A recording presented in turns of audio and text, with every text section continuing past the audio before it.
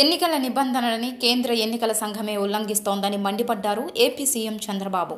Chandragiri assembly నియోజకవర్గంలోని ఐదు polling బూత్లలో రీపోలింగ్కు ఆదేశాలు జారీ చేసిన నేపథ్యంలో ఈసీఐకి ఆయన లేఖ రాశారు.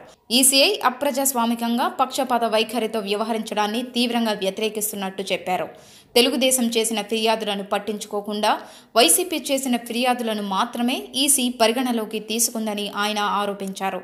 తొమ్మిది చోట్ల రీపోలింగ్ జరపాలని తాము ఫిర్యాదు చేస్తే వాటిని కనీసం పట్టించుకోలేదన్నారు. బీజేపీ దాని మిత్రపక్షాల ఫిర్యాదులపై వెంటనే స్పందిస్తోందని విమర్శించారు. బెంగాల్లో ఒకరోజు ముందే ఎన్నికల ప్రచారం నిలిపివేయడం దారుణమన్నారు. యాభై శాతం వీవీప్యాట్ స్లిప్పులను లెక్కించాలని టీడీపీ డిమాండ్ చేసిన చోట్ల రీపోలింగ్ జరపాలని సీఎం లేఖలో డిమాండ్ చేశారు.